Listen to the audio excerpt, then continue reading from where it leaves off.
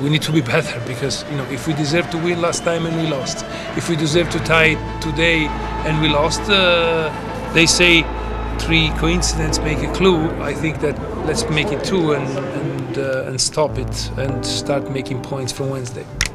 The feeling was bad after both games because we felt like we, we could have had at least three points, maybe even more because we were winning both games uh, till the late, late, like till 70th minute. Uh, but yeah, we, we spoke in the locker room with the staff and we just need to keep working uh, because we, we didn't play so bad, especially the first game. So we just need to improve some things and we'll take, we'll, we'll be back on the track.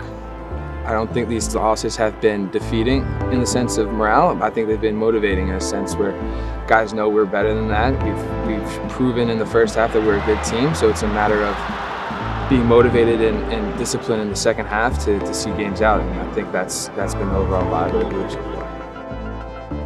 far. We need to keep the hype up through the performance. We need to uh, keep playing like this, pushing, pushing, play, and try to play an offensive way of uh, of uh, football because that's what the fans want. That's what we need to give to the fans, and and uh, with the help of the fans, also we can even do better.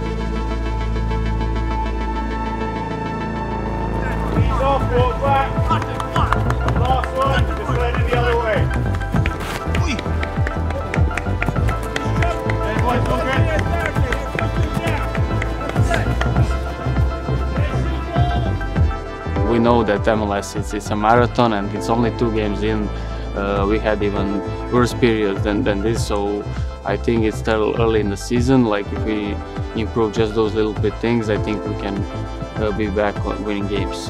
There've been a lot of positives. Like uh, yeah, we played very well in, in our build-up, in our pressure.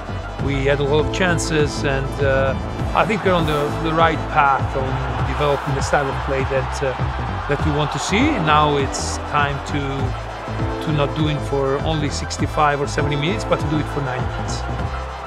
A lot of training's been working on just getting, seeing the ball hit the back of the net, and creating uh, moments where we need to execute better in the final third in order to, to score the goals that will end the game earlier instead of uh, letting teams hang on and, and come back in the second half. The most important component of the, of the puzzle.